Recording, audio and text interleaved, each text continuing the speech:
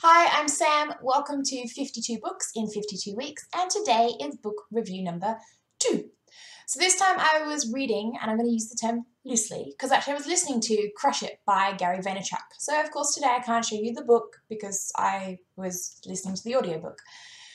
That's the first time I've really enjoyed an audiobook, I'm going to admit. It was kind of handy for me. I spent a little bit of time in the car during the day, and I also like to go out for a walk or a run in the morning. And so what I started doing then was using that time as audio time rather than listening to music or whatever else. And it was a really great way to involve myself in some more books during the year. So, quick review of Crush It by Gary V, otherwise known as Gary Vaynerchuk.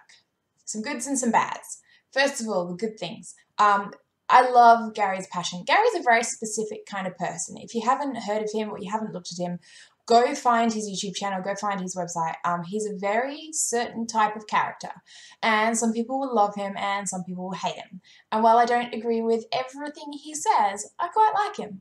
I like his style, I like his honesty, I like his passion. So um, I was really hoping that when I found Crush It that I would enjoy that too, and I did. I really did. Um, it's a great book, and some of the things that I really like that Gary speaks about is the fact that you can turn whatever you're passionate about into a business but it will take time and that you have to work for it. You're going to have to put in some hours and you're going to have to put in some effort.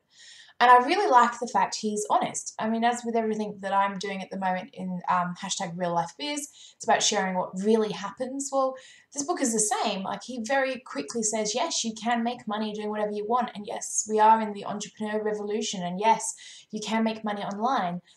But he's really realistic about it and he's really quick to say that you won't make money in the first day or the first year even sometimes. He's also really quick to say that you're not going to just lie on a beach for the rest of your life and roll around in piles of cash that you have to work for it. And i like that. The other thing I like about it is he, oh, he has shared a lot of personal story, but I like the fact that he only ever shares and endorses anything he's actually done. So this is not theory, this is not possibility, this is not bull, this is look, he says, like, I did this and it worked for me. It may or may not work for you, but this is what I did and this is how it worked. And I really like that. So, some of the things I wasn't so keen on. Uh, first of all, and it's not his fault at all, uh, the book is slightly older now, so I believe Crush It was came out in late 2009. I feel I should have researched that before I said that in the video. I think that's about where it came out. Um, moral of the story is then some of the things he talks about on social media uh, are not necessarily outdated. The concepts are still true, but some of the things he mentions are a little bit outdated now, or perhaps just very commonplace. He might be talking about it as a brand new strategy or something that's going to work really well, or he thinks he's going to work really well, and now everyone's just doing it. Um, that's testament to how well he was doing and to what he knew back then. Now, of course, then it's a little outdated. Having said which, there was great content in there, content that I was really glad I listened to, and some really good things to take away. Just be aware the book is a little bit older now. Uh, the other thing you're going to need to be aware of is, like I said at the beginning, he's a very certain kind of person. If you don't like Gary Vaynerchuk, you're probably not going to like the book. It's just the way it is.